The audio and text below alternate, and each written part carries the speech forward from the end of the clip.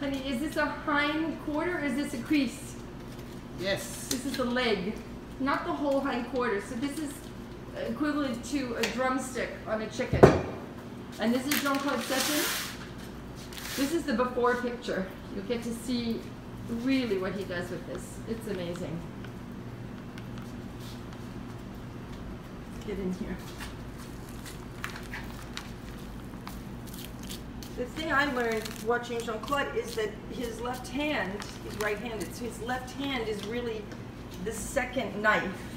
It's as much using his hands as it is using the knife.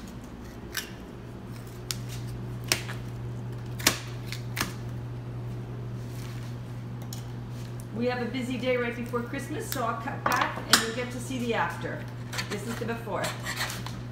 Maybe I'll let you stay here for one second.